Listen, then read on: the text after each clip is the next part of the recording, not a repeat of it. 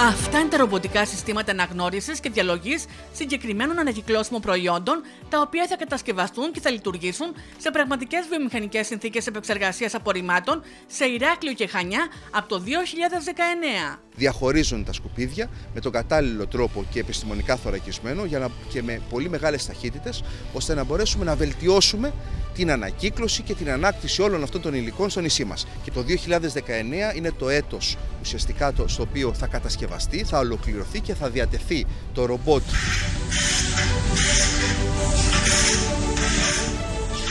Προς την κατεύθυνση αυτή εγκρίθηκε χρηματοδότηση για την κατασκευή και λειτουργία δύο αυτόνομων ρομποτικών συστημάτων διαχωρισμού αστικών απορριμμάτων.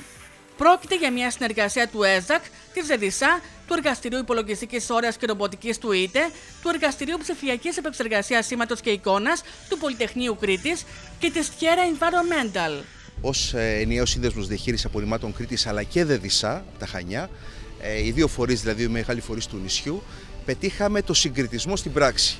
Ε, συγκριτισμός με ΙΤΑ.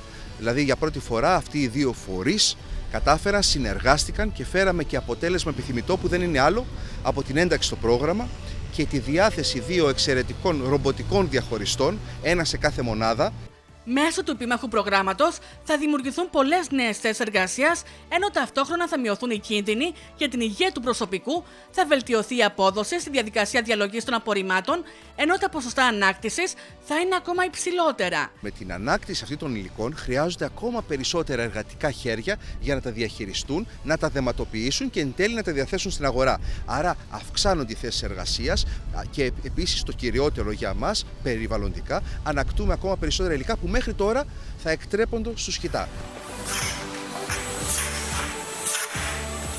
Το νέο πρόγραμμα θα παρουσιαστεί επίσημα σε συνέντευξη τύπου παρουσία όλων των φορέων στην Πριτανία του Πολυτεχνείου Κρήτης.